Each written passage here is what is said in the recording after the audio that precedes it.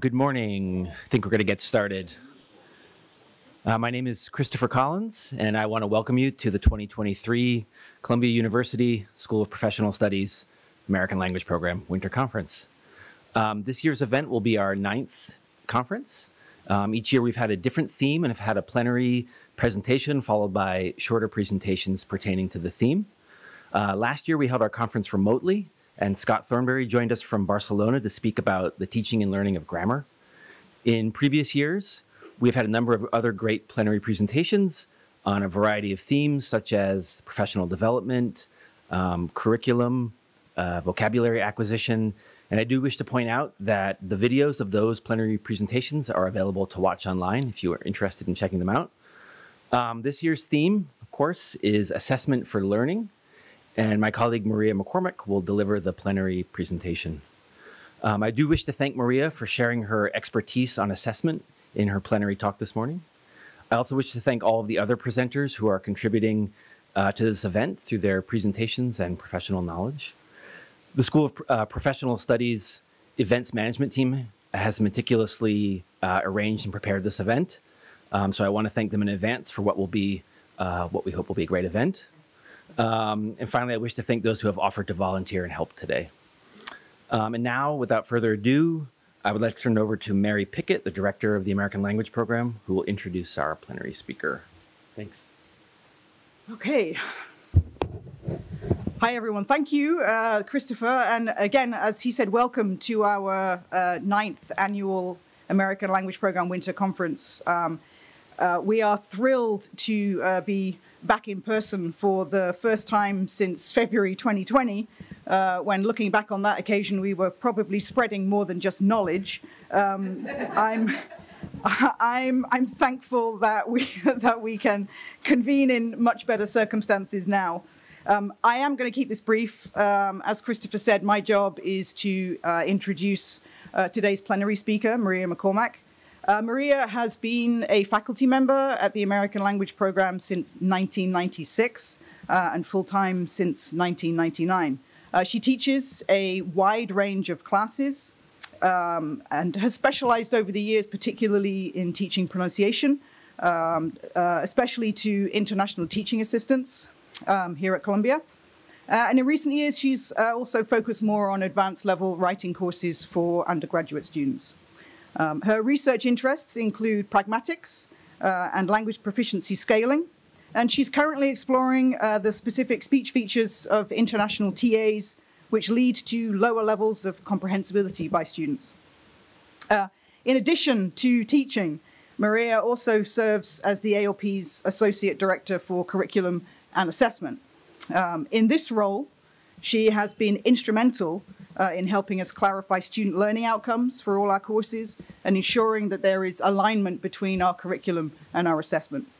Uh, she also performs regular analysis of our high stakes advanced level writing exams um, and uh, the uh, consistency and reliability of our faculty raters. Um, she played a, a, a, huge role in helping us switch to a project based curriculum for our summer courses, uh, including the adoption of the Common European Framework of Reference Mediation Scales.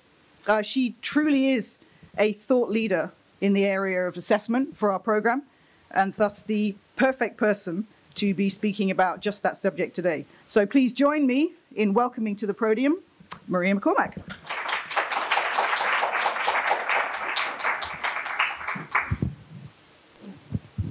Check, check. Can you hear me? Yeah? Okay, good. Good morning, everybody. So, several years ago, I attended a TESOL presentation. I think it was in Chicago, uh, where the presenters were talking about how they changed their assessment procedures in their intensive English program. And during the Q&A, one of the presenters said that assessment, more than any other aspects of their program, tended to bring out the faculty's critical and even passionately argumentative sides. I think he was being really tactful. Um, he, but I think what he meant was it was fractious, it was fraught, it was contentious. I thought, I can relate. Uh, fast forward to 2022, and when sitting down to plan this plenary talk, um, I had a lot of trouble. I was blocked. And after several weeks of this, I decided to put it aside for an afternoon and knit. And while sitting there knitting, I was thinking, why is this so hard? Why is this so hard? And then the dam broke, and I realized that this is hard because assessment is hard. It is hard in so many ways. I started thinking about why it is hard and all the ways it is hard, and I filled up several notebook pages, and that is the basis for what I'll be sharing with you today. But don't worry, it won't all be so grim. I'll mostly be talking about language assessment, but there are times when this overlaps or trends spring from general education, even early childhood education that has influenced our field.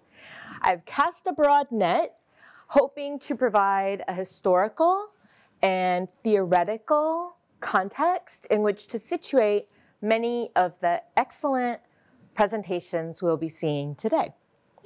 So let's get started.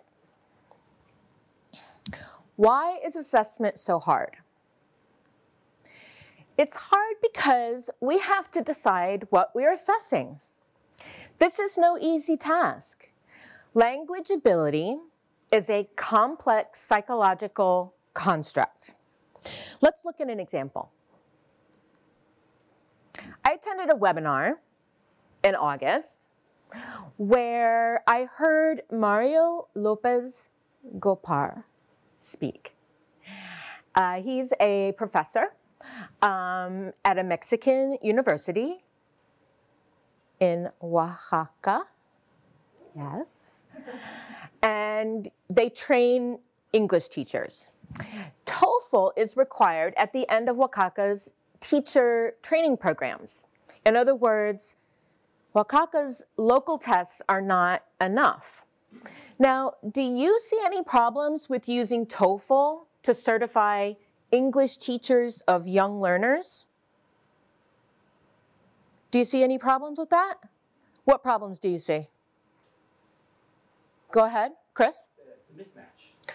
Yeah, it's a mismatch, right? We're, we're not testing what we want them to actually do. TOEFL is designed for students going off to college to sort of predict how they'll do in college. Whereas teachers of young learners probably need a very different skill set and very different language abilities. So how do we decide what language ability is for the context we're testing in and which aspects are, uh, excuse me, are necessary?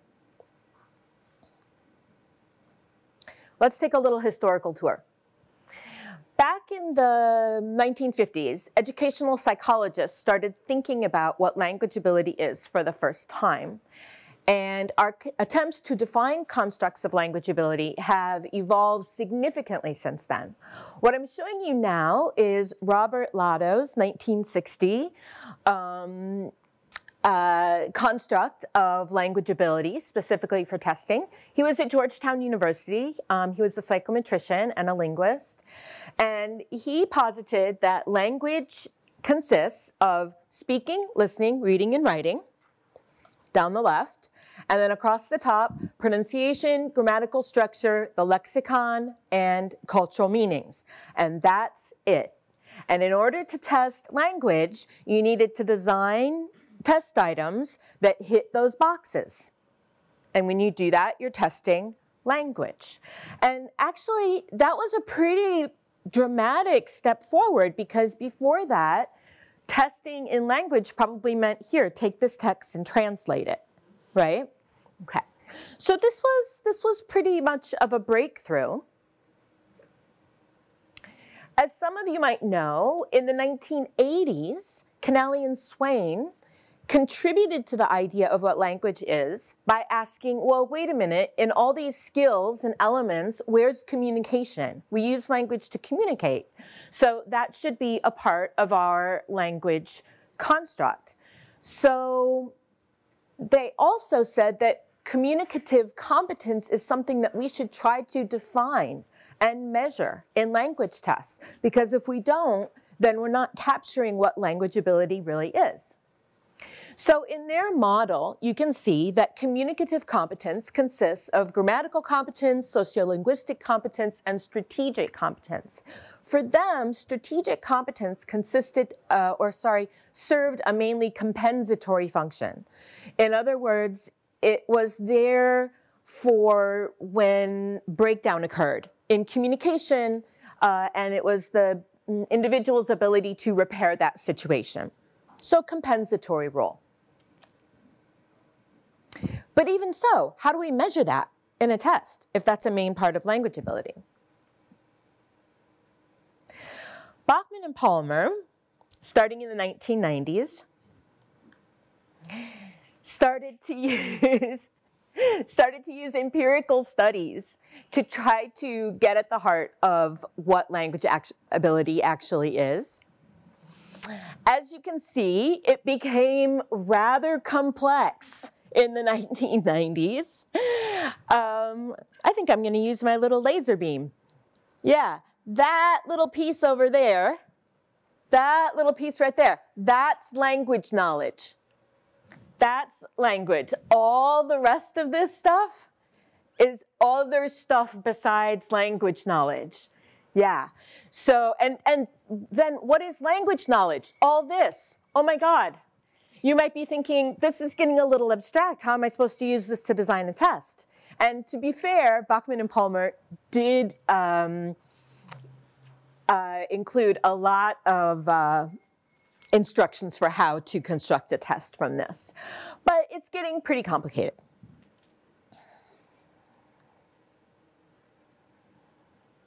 A different approach was taken by McNamara in 1996. McNamara, Tim McNamara, is Australian, and he was interested in performance assessment, specifically in the context of an English test that certified healthcare workers from overseas to work in that field in Australia. Important, right? You want your doctor to be able to understand you, and you want to be able to understand them.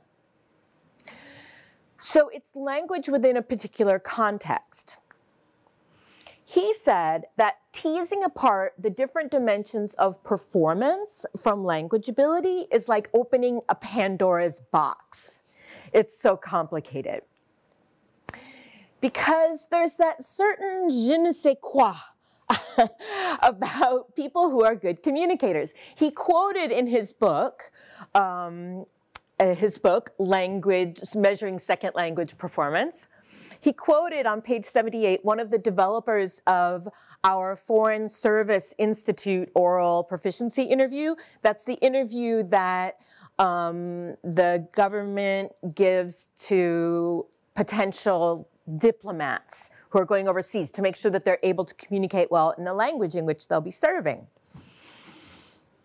And one of the developers of this test uh, said, quote, on the other hand, I know people who butcher the language, whose accents are atrocious, and whose vocabularies are limited. For those reasons, we give them a low proficiency rating. Yet, for some reason, some of them are effective communicators.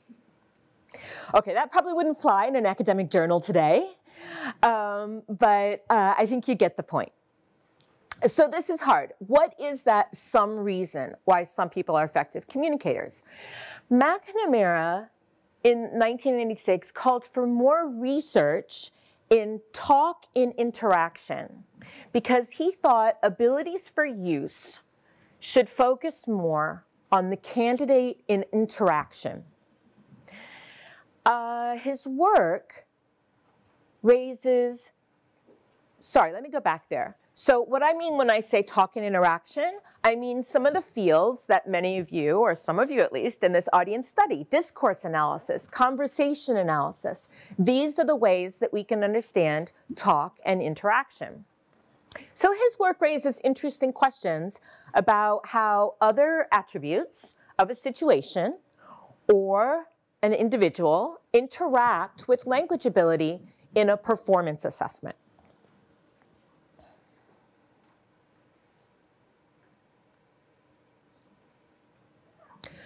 Like McNamara's approach, the action-oriented approach of the CEFR, that's Common European Framework of Reference for Languages,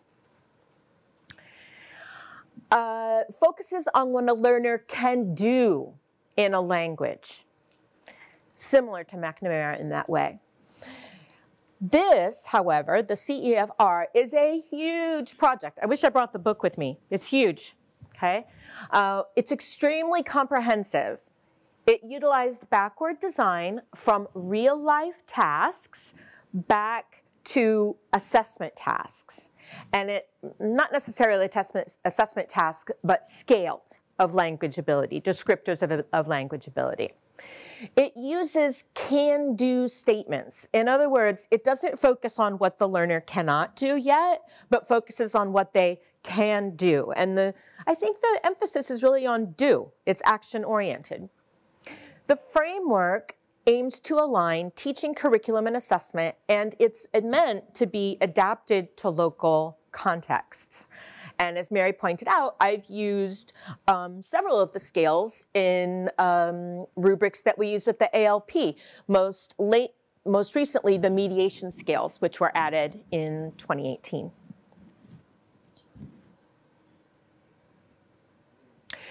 So this framework emphasizes the learner as a social agent who collaborates with others towards meaningful goals. Language is about doing meaningful things. They have to do something, is what one teacher says on the website.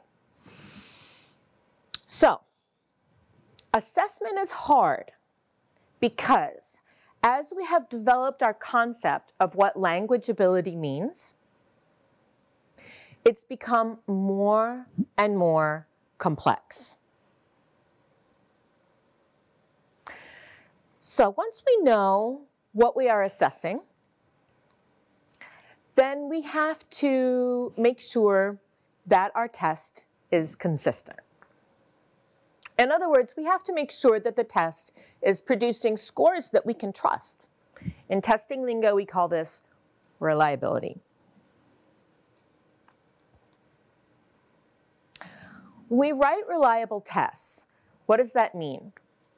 It means that according to classical test theory, a person's test score equals their performance on the test plus error. Let me say that again. A person's score on a test consists of their true ability plus error. So what's error? Error seems like something that we want to minimize because we want the test score to reflect as, actual, as accurately as possible their true ability, right? So we want to minimize error. What are some things that might cause error on a test? That's a real question. Lack of knowledge. Lack of knowledge about the topic, yes. Not understanding the instructions, unclear instructions, yes? Also, what about culturally responsive instruction? Right. There might be um, uh, instructions or items on the test that are culturally unfamiliar for the student. All of these things contribute to measurement error. Bachman put it this way, how much of an individual's test performance is due to measurement error or to factors other than the language ability we want to measure? And here I want to point out that error can take different forms. On the right side, we see random error. That could be things like how a person's feeling that day, they're sleepy, they didn't have breakfast, the air conditioning was too strong, random error. On the left, though, we see something that's mm, maybe a bit more concerning for language testers is when the error is systematic. When the error is systematic, that means we're not controlling for something.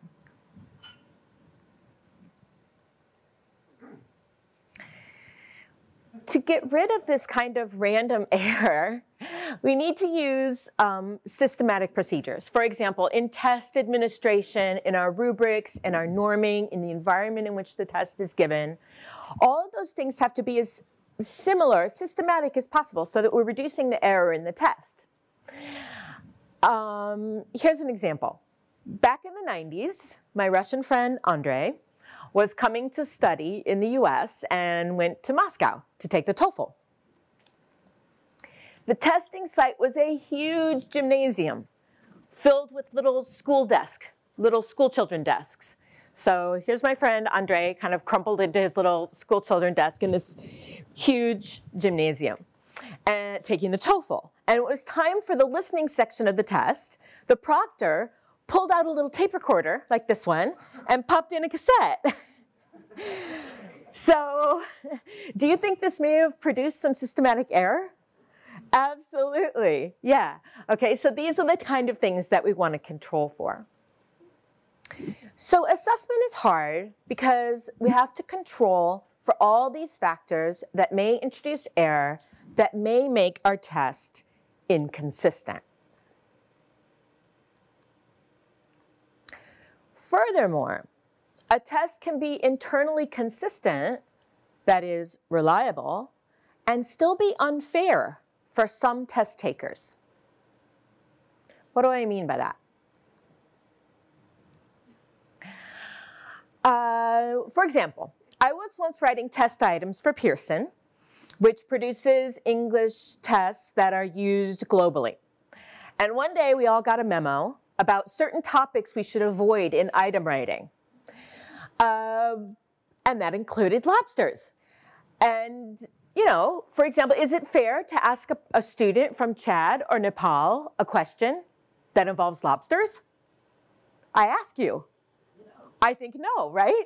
Okay, so no more lobsters. so there are certain topics um, that have to be, you know, removed because they could be introducing bias in a test. They could be unfair for certain test takers. So for that lobster item, what we might see is students from different countries performing differently. That's not fair. This could apply to any groups males and females, for example. If they're performing differently on the test because of their group affiliation, um, that's not fair. In the US, we see this with racial backgrounds. It's called differential item functioning, DIF, and we try to minimize it. But think about this. When we get rid of all the lobster questions, we strip tests down to make them very decontextualized, very bland. Some say that this is also not okay because it's not authentic. We don't talk that way. We don't talk in bland terms. We talk about meaningful things. We don't use language in a decontextualized way. It's always situated. Or other people say that test items are actually never decontextualized. It's just that the context is that of the dominant group. And we'll talk more about that in a moment.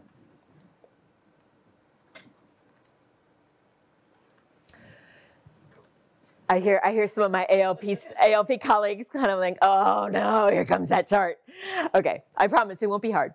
That last example was about fairness in individual test items, like for a listening or a reading test. But what about fairness in a performance assessment, like speaking or writing, that involves raters and different prompts? So in this table, can you see different colors? Okay, so in this table, the raters are red, the examinees are green, and the prompts are blue. And toward the top is more ability, more severity, more difficulty. And toward the bottom is less severity, less ability, easier.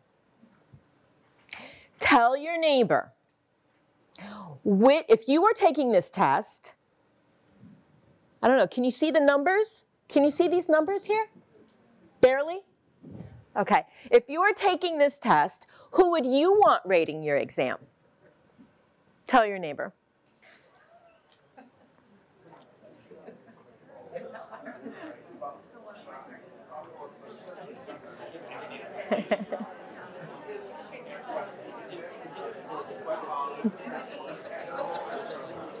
you want Bobby rating your exam? Oh, actually, I made that up. I just totally made this up. Yeah. okay.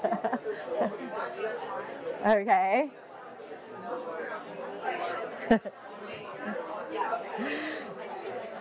okay, okay, okay, okay. So which rater do you want? None of them? Okay. Oh, these are the these are the examinees. So the examinees don't read each other's papers. Would you want 14 or would you rather have zero? 14 because they're the dove, right? They're the dove, they're the easy rater, okay? Zero's, zero's tough, you know? If you get zero, mm, and if, if there are two raters involved, if you get zero and one or two, that's gonna produce a very different result, probably, as we can see in this column, these are different score levels, score bands. You might get a completely different score band than someone who was read by 14, right? Actually, two score bands. Is that fair?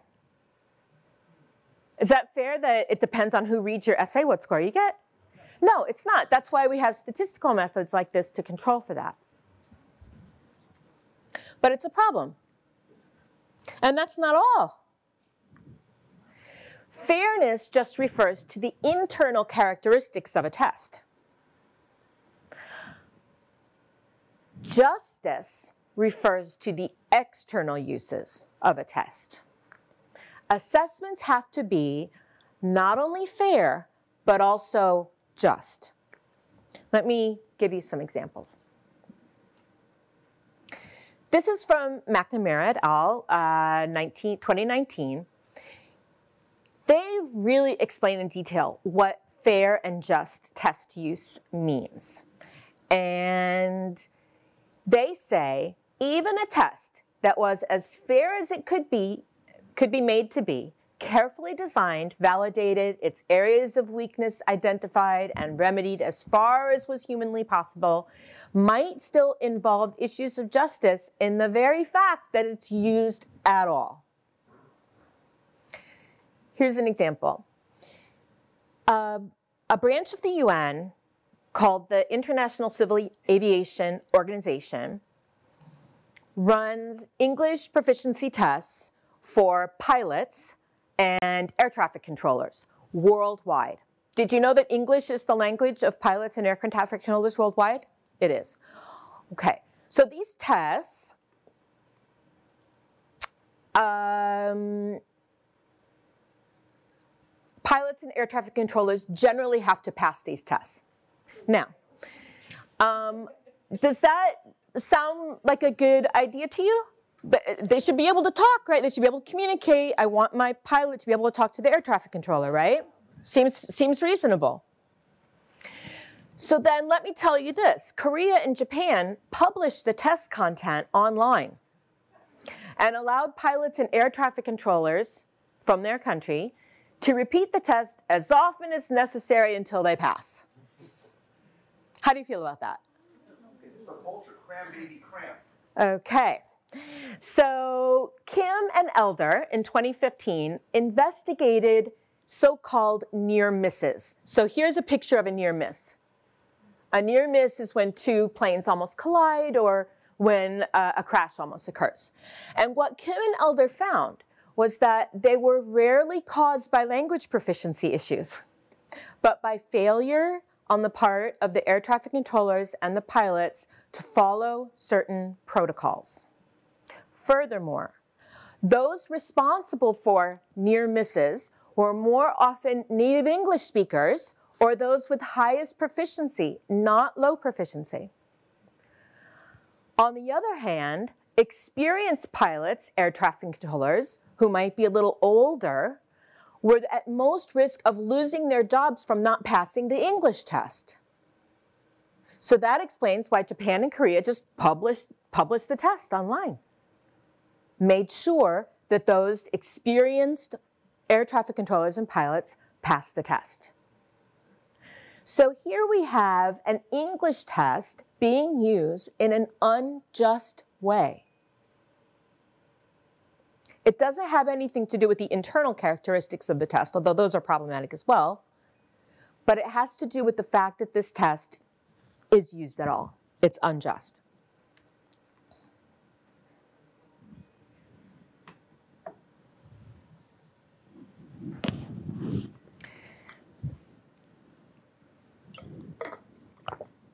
So as I mentioned, those pilots and air traffic controllers could lose their jobs for not passing an English test.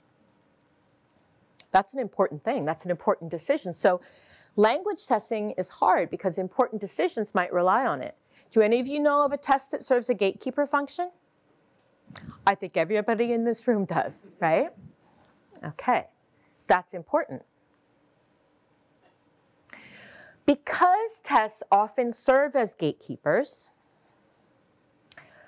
ethical uses of tests call for rigorous arguments, and this is reflected in evolving notions of test validity. It's a little bit abstract, bear with me. So Messick, in 1989, introduced a construct-based model of validity why his model was groundbreaking is that he said that validity includes the social consequences of the score interpretation and use. So it's not just that the items all have to be functioning well and be consistent. Test developers are responsible for the social consequences of the test use, the impact. He called this consequential validity. Michael Kane in 2004 took this a step further. He used a different approach. He used an argument-based model of validity. And he said that an interpretive argument must be made and defended for decisions and claims made on the basis of test scores. So whereas Messick was saying it's the test scores that we have to be concerned about. Kane went a step further and said it's actually the decisions made on the basis of those test scores that have to be justified and defended in an assessment use argument, an AUA. For example, a test developer can't just design a test, sell it to the New York Board of Ed, and say, okay, all done, leaving the Board of Ed to use it in whatever fashion they wish. Okay, so that wouldn't be a valid or ethical use of a test. Because the test givers are making decisions about the test takers, assessment is a form of power over one, of one group of people over another. Tests are power. Scholars from many fields have begun to call out what they see as unjust uses of tests. Uh, the best example is Elana Shohamy, She's an Israeli testing researcher. She's known in the field of language assessment for being one of the first in the subfield of critical language testing. She says critical language testing refers to the need to question the uses of tests as tools of power and to examine their uses in education and society. She's looked at things like uh, Israeli language testing of new immigrants used to determine who is a real Israeli, English language proficiency tests operating to perpetuate global power relations, like that aviation test I told you about. French language tests in Northern Africa used to reinforce colonizer dominance over colonized populations, and so forth and so on. An issue that hits closer to home is ITA oral testing at universities. Some of you may know that many states have laws for public universities about the English proficiency of international teaching assistants. Kim, in a study in 2019, cites the text of one such law. This is the text of the law from their state uh, in her highly critical take on ITA testing at universities. From Kim's perspective, this testing is an expression of oppressive power that serves to otherize international students. So assessment is hard because it embodies power relationships that may be unjust or have really harsh consequences in people's lives. Which is one reason why emotions run high where assessment is concerned in the larger culture, as well as in our classrooms. This is one of my favorite books. It's called Thanks for the Feedback The Science and Art of Receiving Feedback Well, even when it is off base, unfair, poorly delivered, and frankly, you're not in the mood. I like this book because it talks about different types of feedback. And they say, the authors, Douglas Stone and Sheila Heen, say broadly feedback comes in three forms appreciation, which means thanks, coaching, here's a better way to do it, or evaluation, here's where you stand. In our classrooms, we teachers, I think, we see ourselves often as coaches right? Switching to that evaluation mode can be a difficult change of mindset. So emotions run high. Numbers and tech are often involved with testing. That's another reason that makes it hard. Most language teacher education programs don't have a strong quantitative component. So scores and research on scores can be inaccessible or off-putting. We're language teachers. We went into this field because we don't like math, right? In many cases. I do question that to a certain extent though. I attended several classes at TC in communication disorders. That's uh, classes for speech pathologists. And our instructor, Catherine Crowley, had us trained to be able to interpret the technical manual and the scores of any test that could get a child placed in special education. We had to have it down. She would not tolerate anybody saying, oh no, I don't get it, I'm not a math person, okay? Because really important decisions were based on that. You had to be able to interpret those numbers. The increasing use of tech poses a similar problem especially with regard to automated scoring. I saw a webinar in August. Wasn't a webinar, it was an interview on a YouTube channel. I don't know how to classify this. Um, it was called The Validity of Automated Scoring in the Era of Machine Learning and Big Data by Xiaoming Xi. And it was on the Statistics and Theory YouTube channel. Check it out. All right, so she asked, what has changed in recent years? First, automated scoring. You guys know what I mean when I say automated scoring of essays and speaking? Okay. All right. So automated scoring is increasingly used for high stakes purposes. She says it doesn't make headlines anymore. Also, there are variations in applications and purposes, such as feedback. I think that's actually kind of exciting that an automated essay score can give the student feedback that will help them as diagnostic purposes. Users, that means both test takers and people who are giving the test, institutions, are becoming less selective due to the pandemic. We were really scrambling for a while there, right? So we needed to use tests that could be easily delivered online and perhaps scored in an automate with an automated engine. And she also says that deep learning methods are becoming popular, so-called black boxes. I know that sounds automated. I'm going to talk about that um, in a little bit. So an automated scoring engine, such as the one TOEFL uses, along with one human rater, so TOEFL uses one e-rater, one e-rater score and one human score, um, until recently has been based on algorithms created by humans with inputs with input from applied linguists.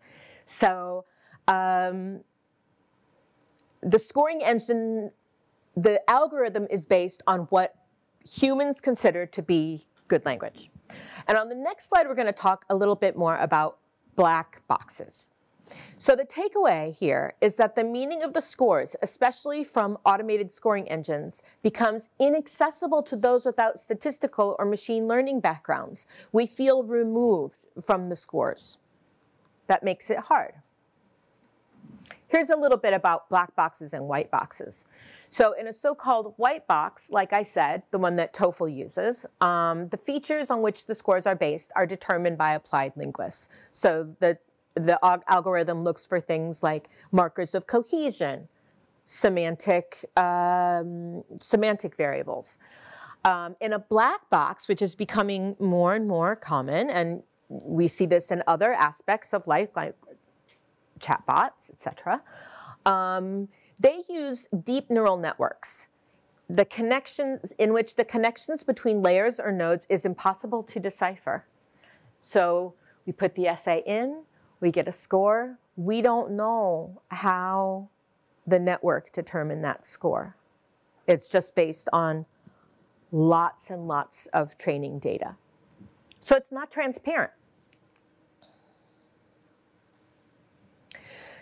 So far in this plenary, I've been talking about all the reasons that assessment is hard because it has to be valid, consistent, fair, and just. It has to produce scores that we can confidently use to make decisions about people's lives, yet with limited resources, real world constraints. And you might be thinking, okay, okay, we get it.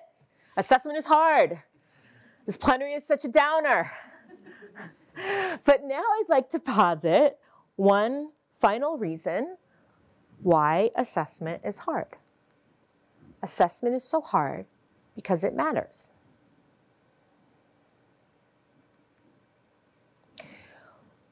Working hard at assessment leads to better curriculum. Assessment, when you have no role in creating it, can seem like the boogeyman, as in, oh my God, this class is just test prep. And there are plenty of studies that show that poorly conceived assessment can have negative washback on curriculum. Absolutely. But it works both ways. Bad assessment drives bad curriculum. Good assessment drives good curriculum. It forces you to specifically identify what you want the students to know and be able to do. When you do this, you will then build it into your curriculum, build in you, into your curriculum the steps that the students need to take to get there. Oh, my tea is out of whack. Aw. Nevertheless, we work hard on assessment because it's an integral part of what we do. You're going to see this triangle a lot. I have it hanging over my desk at work. If the assessment part is done poorly, it wrecks the other two. If it's done well, it enhances the other two.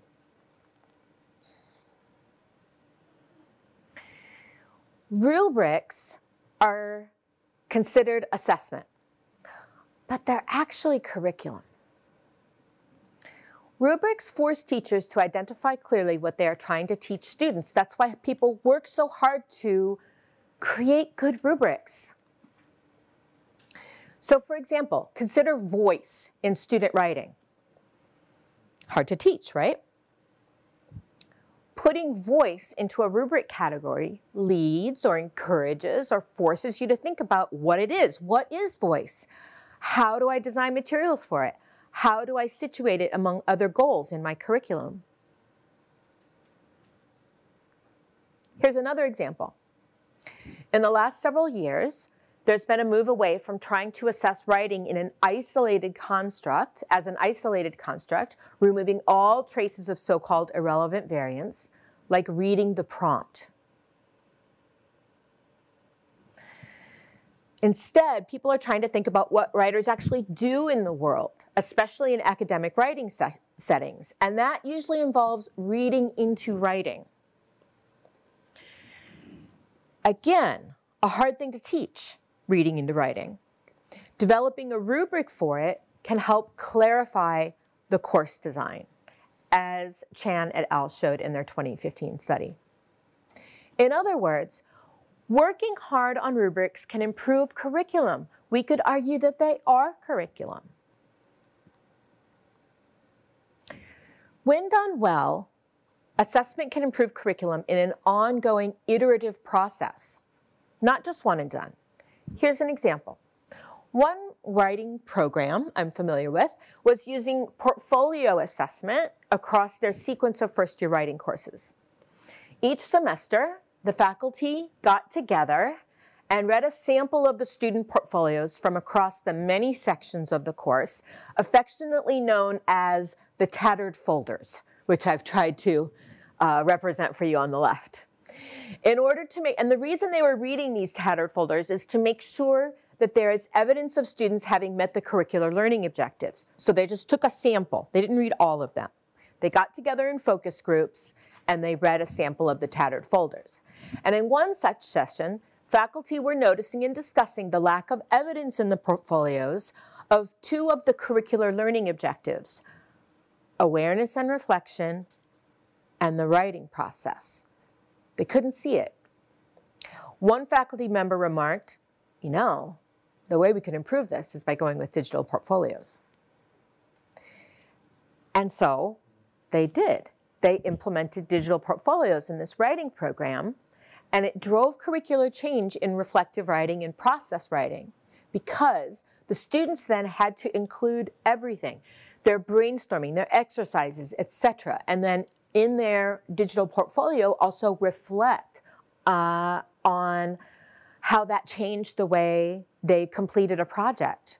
Students became really involved in this kind of multimodal way of assessment, and it helped learning.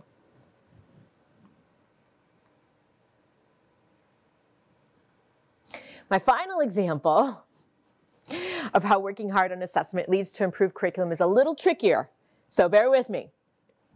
This is a scholarly assessment project.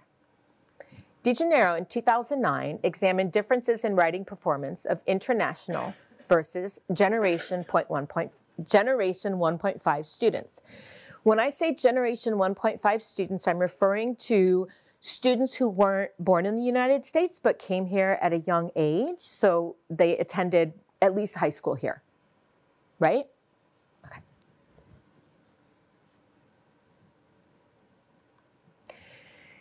The study challenged the assumption that grammar would be the main difference between the international students and the Gen 1.5 students.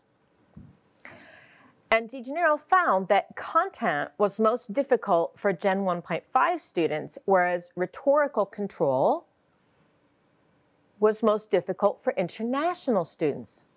So this is kind of something new, kind of counterintuitive. She explained very well in her study why that could be the case.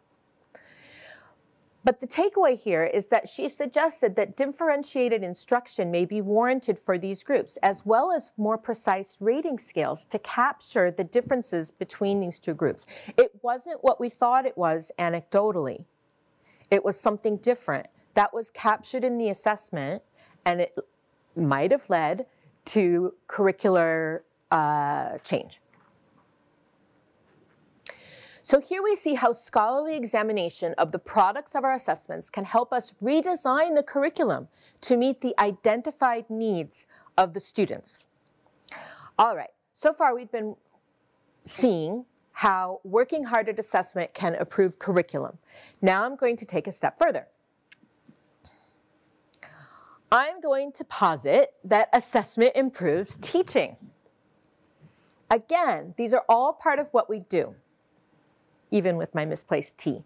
If the assessment part is done poorly, it wrecks the other two. If it is done well, it enhances the other two. Assessment and teaching are related to each other intimate, intimately. Here I'm going to broaden what I mean by assessment to include formative assessment or assessment for learning. Uh, Black et al this book here, um, produced this seminal work in assessment for learning in 1998. And according to Black et al., an assessment activity can help learning if it provides information to be used as feedback by teachers and by their students in assessing themselves and each other to modify the teaching and learning activities in which they are engaged. Such assessment becomes formative assessment when the evidence is used to adapt the teacher work to meeting student needs. They go on to say that, quote, formative assessment can occur many times in every lesson. It can involve several different methods for encouraging students to express what they are thinking and several different ways of acting on such evidence.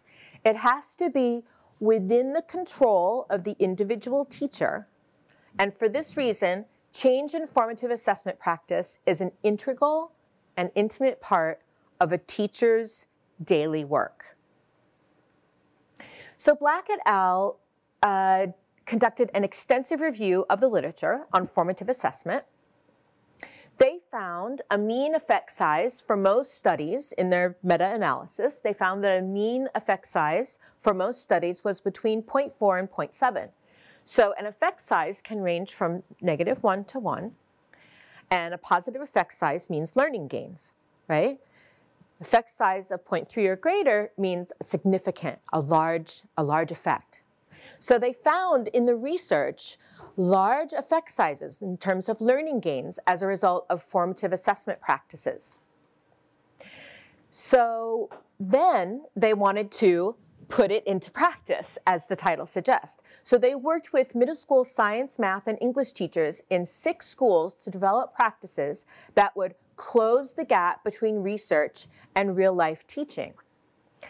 And they focused on collaboration with teachers to take forward formative practice in these four areas questioning, feedback through marking, peer and self assessment by students, and the formative use of summative tests. So, we are assessing students informally all the time as teachers. Work in discourse and conversation analysis, such as Carol Lowe's dissertation, eliminates how understanding develops in classroom interaction. Small changes in a student's formative assessment practice can have big effects on learning. So let's see what this might look like in a classroom. I have some volunteers to help in this situation. Yeah, Come on forward, all of you people I've recruited. Okay. This is an example from Black et al. Um, these two extracts are from a science class.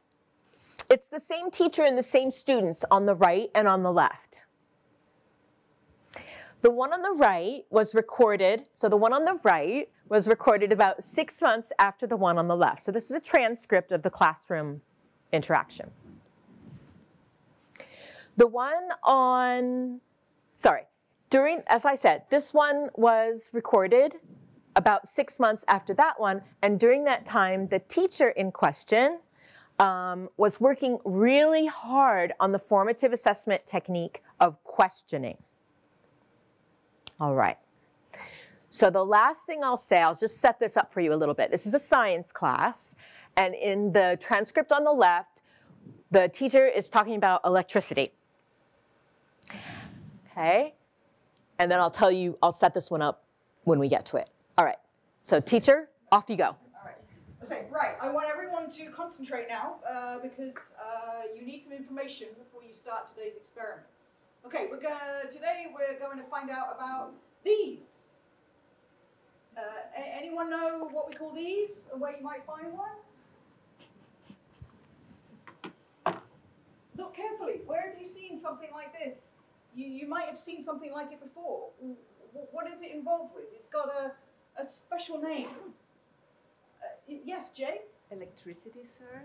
That, that's right. You, you can use these in electric circuits. Anyone know what it's called? Uh, this word here helps. Can you can you read what it says, Carolyn? Amps. and and what is this instrument called that measures in amps? No one? No. Well, it's an ammeter because it measures in amps. Uh, what's it called, Jamie? Clock, sir. you weren't listening, Jamie. It might look like a clock, but it's called um, mm, Richard. An ammeter, sir. Uh, nearly, Carolyn. An ammeter. Uh, thank you. Uh, what's it called, Jamie? An ammeter. That's right, an amateur. And where do we find these amateurs? Uh, Monica? Monica? Uh, n- no idea. Tell her, Rebecca. In electric circuits. Okay. Okay. All right. So that's the before. Okay. Now we're going to fast forward six months later. This teacher has been working very hard on their questioning techniques for formative assessment. And here we have a lesson on photosynthesis. And the teacher starts the class by bringing out two geranium plants. And one is green and pink and vital and healthy and blooming. And the other one is all desiccated and dry and, and dead.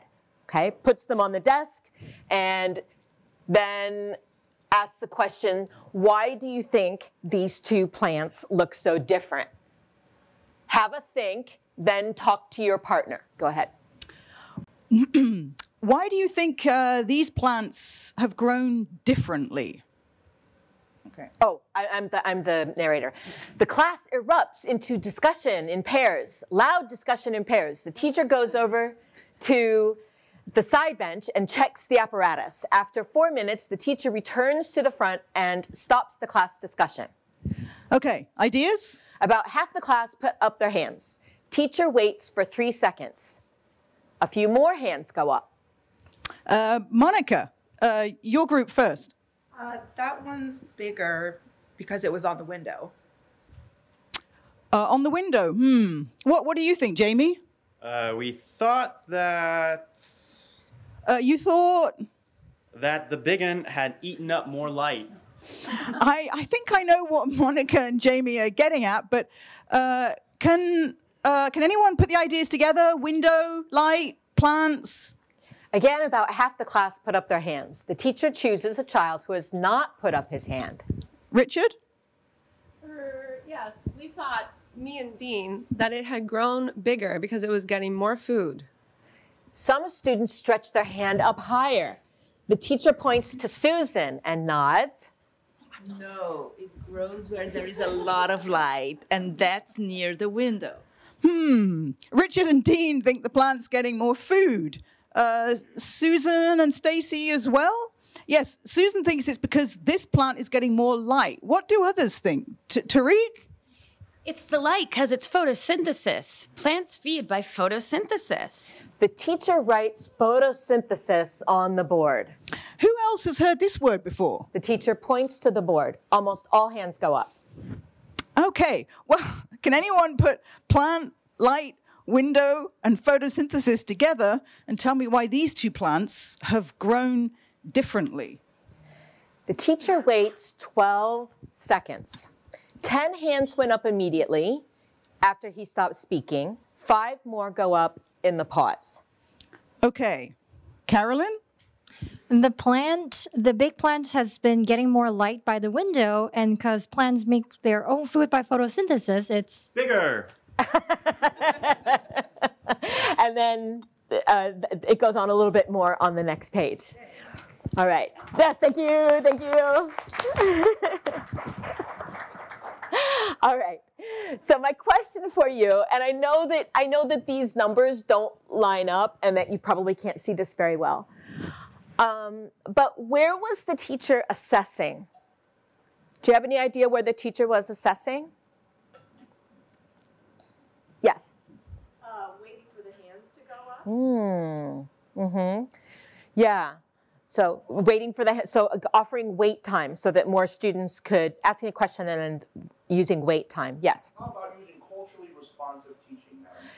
Could be. Affirm, build, and bridge, tapping into the funds of knowledge, and also using question sessions to assess, and have students work in groups, use graphic organizers. Yep. And also, you have to use equitable, equitable instruction. not equity Okay. For I, individual education. Great. Side- Thank you. Thank you very much. I want to let a couple other people speak. Yes, Bobby.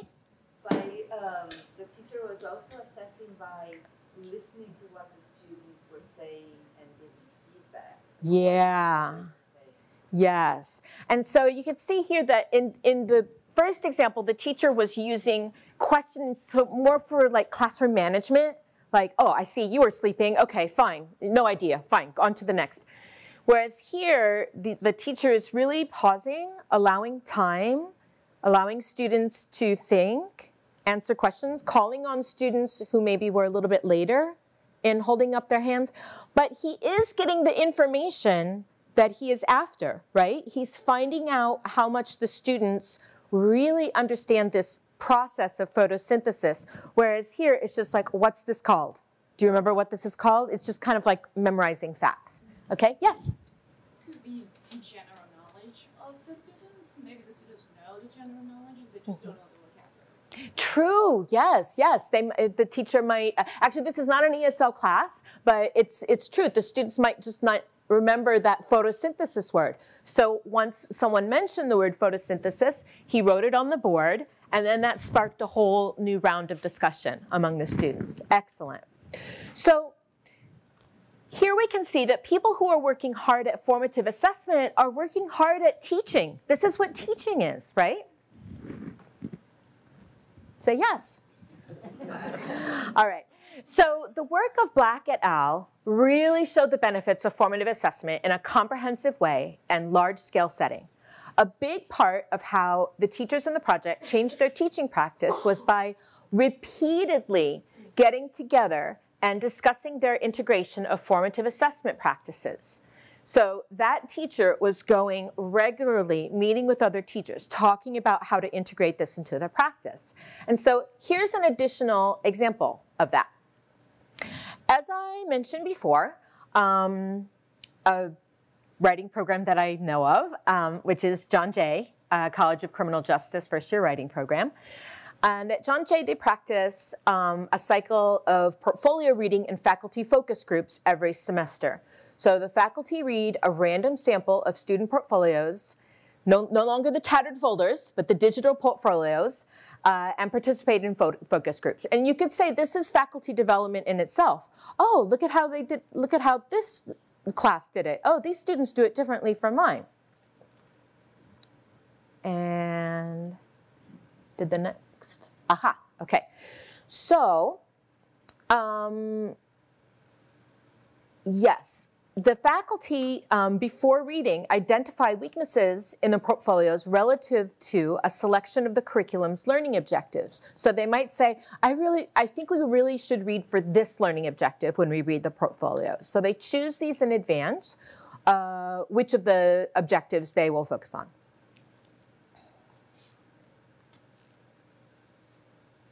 These areas that they focus on or that they identify through their reading of the portfolios together then become topics for faculty development prior to the following semester. And this happens every semester on a cyclical basis. So obviously the faculty development ends up leading to better teaching.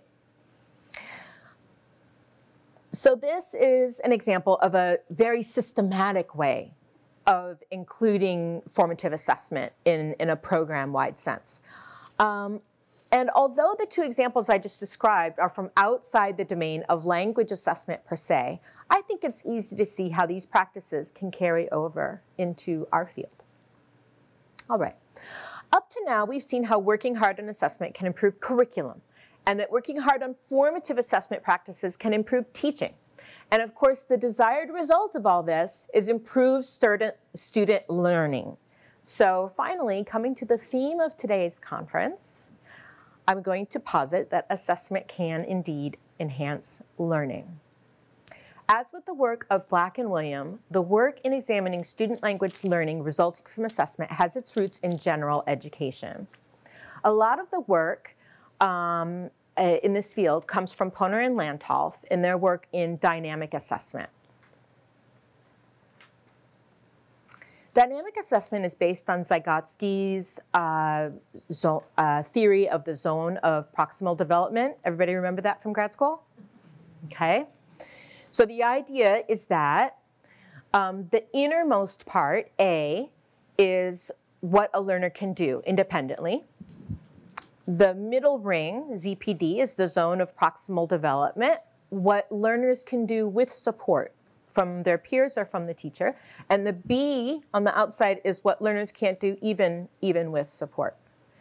So the idea of dynamic assessment is that we really try to get farther into that zone of proximal development within the language assessment process.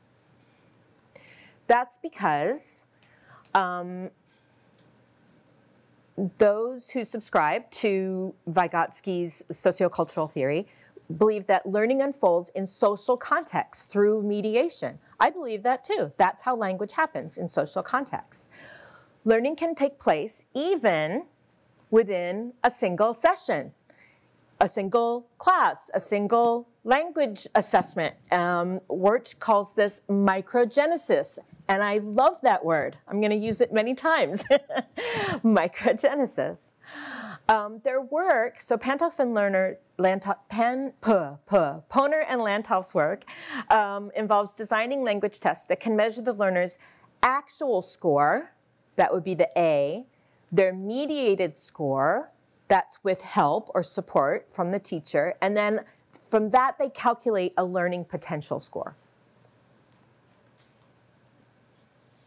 They're doing this in a second language context, but a lot of the work in dynamic assessment comes from early childhood education, especially in Israel.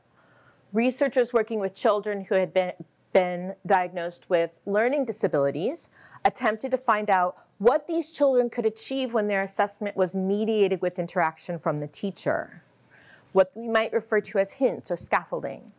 Some children were easily able to enter or stay in mainstream classes with support.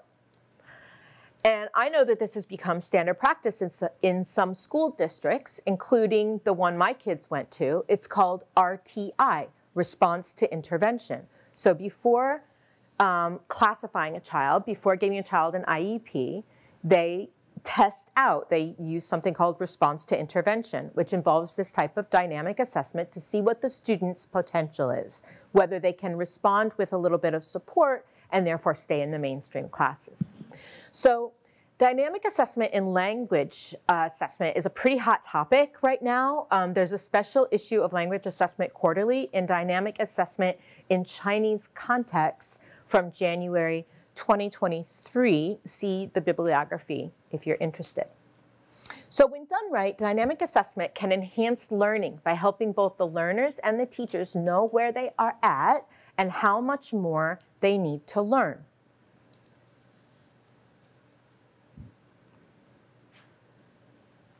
That's a big slide. I'm going to explain it. So the learning gains from formative assessment practices seen in the general education literature, primarily Black and Wiliam, led to or coincided with exploration of what learning-oriented assessment looks like in language assessment. And because this field was growing, and there wasn't a lot of research in the area, Turner and Purpura's 2016 working framework of learning-oriented assessment suggested a way forward for test developers and researchers.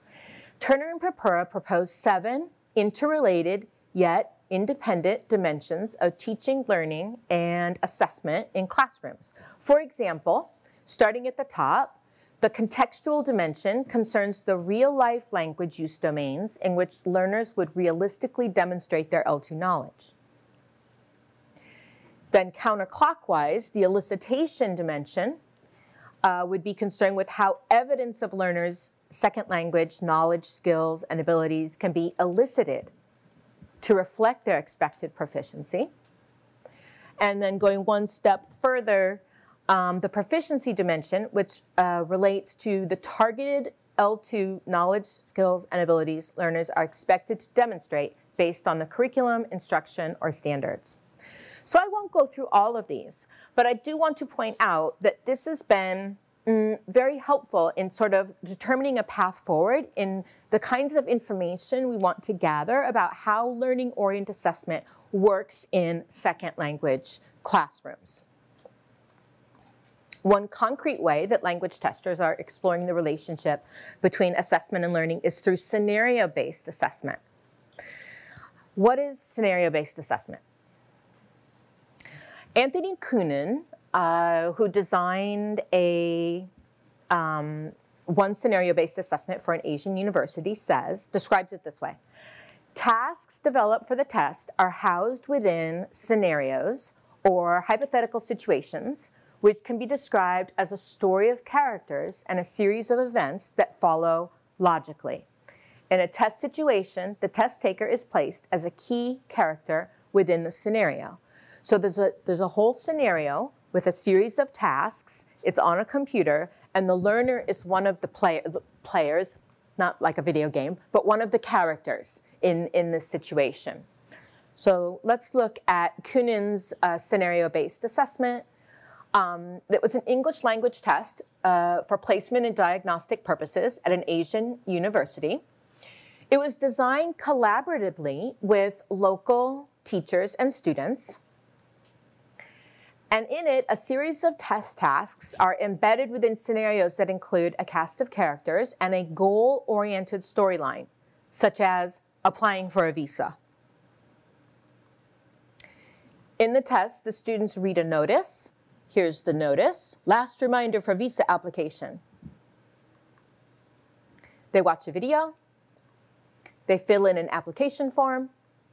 And they write a short paragraph to state their reasons for applying for the application.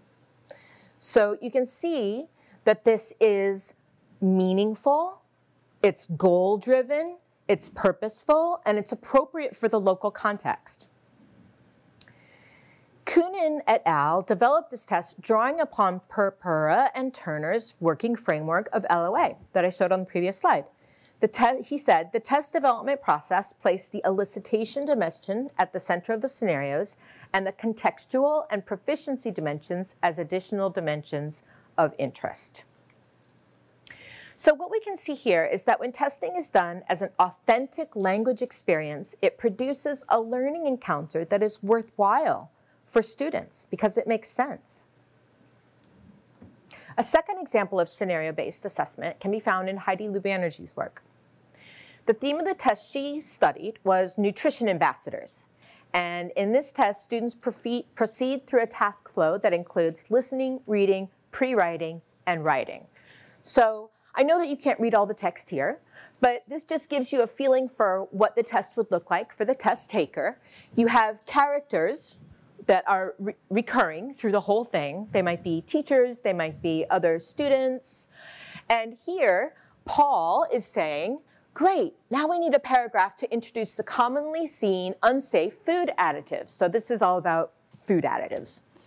Um, so Jane says, yes, why don't you try and write a one paragraph summary to teach people about the unsafe food additives? So the students have already read an article about food additives. And she sort of gives a little scaffolding. I think the summary should include what are the unsafe food additives? Where can we find these unsafe food additives? What can these unsafe food additives do to our health? So giving a little prompting, a little, a little scaffolding. And then Mrs. Norman says, sounds like a plan. Again, in your paragraph, please make sure all the information is correct and only the important and necessary information is included. So then up here, the students will write their summary.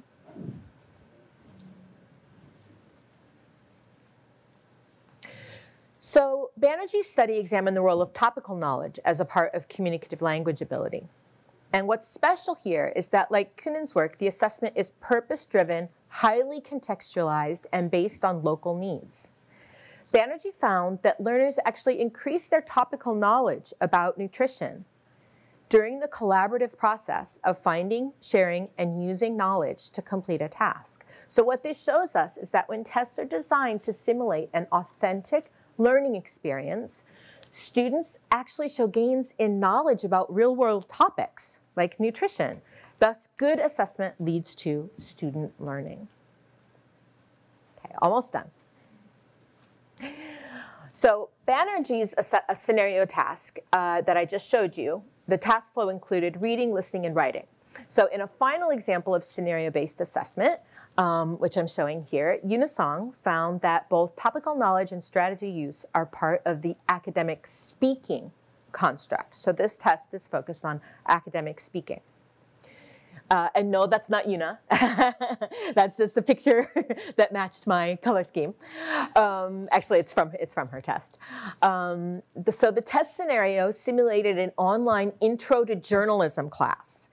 And the test takers had to learn more about modern journalism through video materials pre presented by a virtual instructor. And then in the end, the goal of the scenario was for the test takers to orally present their perspective on the future of journalism in an online discussion forum, something that students might really do, right? Um, so to do this, they had to incorporate the information they had learned and obtained from the course materials um, introduced in the test.